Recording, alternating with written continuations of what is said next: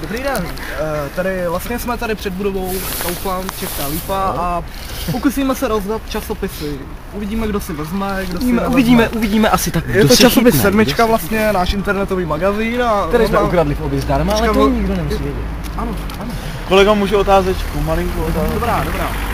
Proč jste si zrovna vybral tohle místo a hlavně město Česká Lípa? Co vás k tomu vedlo? Tak eh, Česká Lípa mi připadá jako slušné místo, kde jsou lidi To, se zdaleka Ano, stát.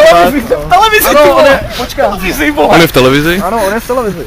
No a vlastně chceme rozdat časopis Sedmička, ukázat lidem. A co to je vůbec za časopis? To je jako, jako bulvár nebo Ale co to řeknu je? ti to takhle, ukradl jsem ho v viď, a teď ho chci Dobře, rozdat. tak to chápu. Takže, takže moment, ty jsi tento obsah časopisu, jelikož činí dost, dost, ukradl v jiném obchodu a když ho propagovat do jiného Dobrá, obchodu. uvidíme, kdo se nám na to chytí. Uvidíme, jaký kreten se na to chytí.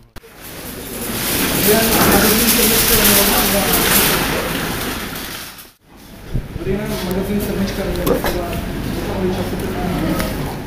Dobrý den, časopis se je to lítik zdarma dva.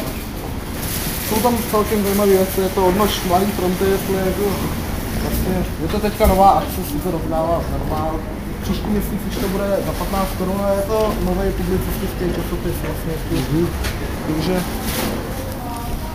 to mohlo být docela zajímavé. Já jsem si osobně taky to čet a jako docela mě to bavilo, ty protože člověka to pobaví, jo. Uvidíme, no. Jasně, no.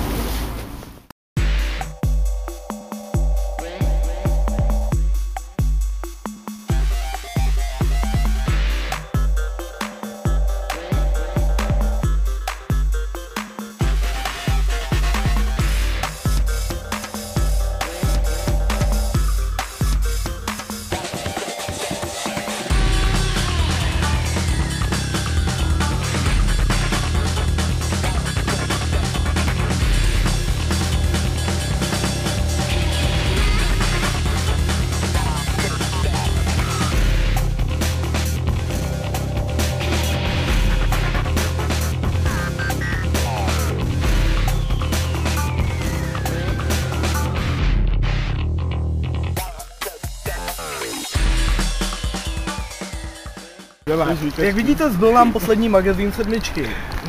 Pro televizi Nova Roman Šťastný a, a i pro Slovenskou republiku rozpráva Rastislav Štěpánek. Spasibo.